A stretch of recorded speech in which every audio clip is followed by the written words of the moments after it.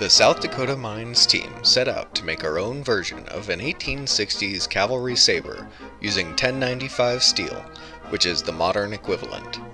Historical research found that some period swords were tempered in unique ways using molten lead.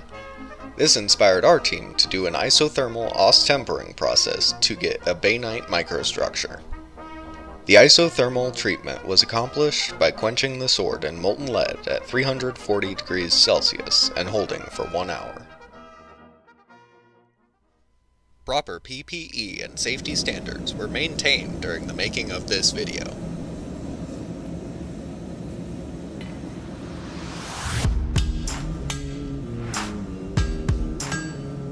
All forging was done by hand at approximately 1200 degrees Celsius.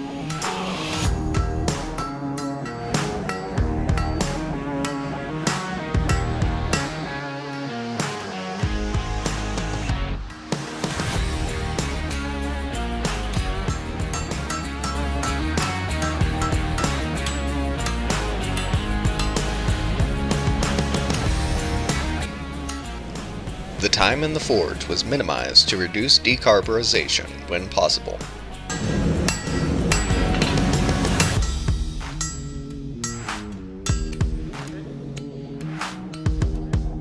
We started with a straight blade, then pre-bent to the opposite side of the cutting edge. During the beveling process, the blade naturally sabered the correct direction due to steel expansion.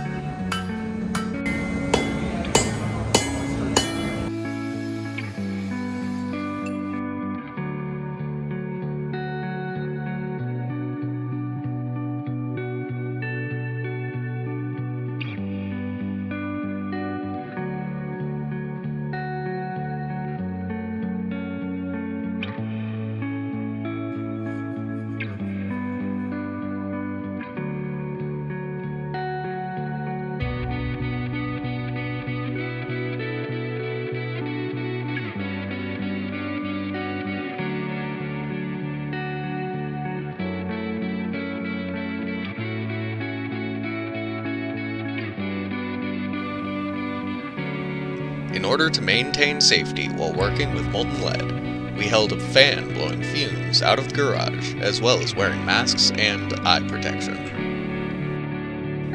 Straight from austenitizing, the blade was quenched in a molten lead bath and held for an hour. The temperature was maintained with a pyrometer and frequent agitation. A wax mold with sprues and vents was dipped in a suspended ceramic slurry to create a cast form.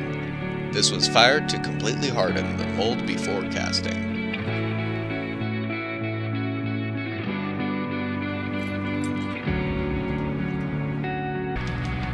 We wanted to create our own garden pommel by investment casting brass, inspired by historical designs.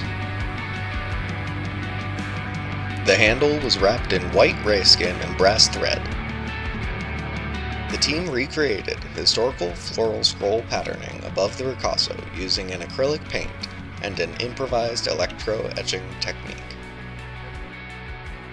The handle of the sword was secured by peening the tang. A blade balance calculator program was used to measure the effectiveness of the blade design to make sure optimal balance.